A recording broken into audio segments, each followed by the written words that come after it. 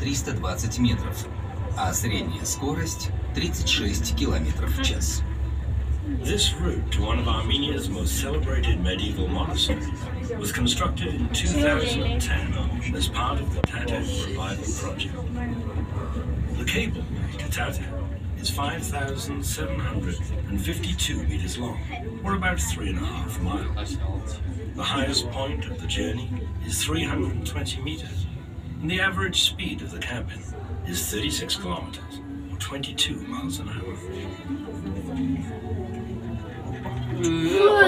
Vi sa ju att det är från den. Vi sa ju att Ja, staty. Tam, Wat was dat? Die Ella. Die ook een...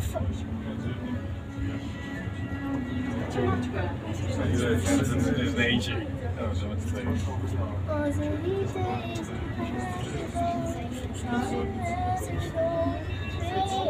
Օթաղցի ընթացքի աչքով